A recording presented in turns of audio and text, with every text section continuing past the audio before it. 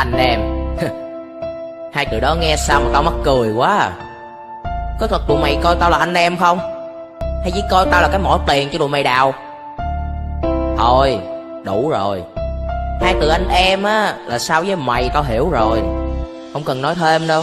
Cái ngày đầu khi bước vào nhóm là tao đã thấy nghi nghi. Tao đâu có phải là thằng con nít mới vừa ra đời, không biết gì. Tụi mày cho tao chơi chung, tại vì thấy tao chịu chi. Chứ đâu có phải thấy tao vui tính như tụi mày nói đâu nhỉ.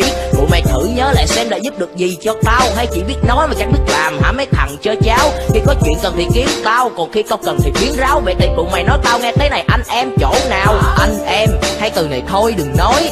Bạn tốt, Có thấy chỉ toàn là bạn tồi Lúc tao có tiền thì mày bù lại giống như sói đói Thấy mồi. Còn khi tao nghèo không một cắt mặt chín túi Thì có thằng nào thèm hỏi. Có anh em như tụi mày thật là tốt quá. Còn gì, Ít nhất cũng nói tiếng người chứ không có sổ với mấy con kia kia.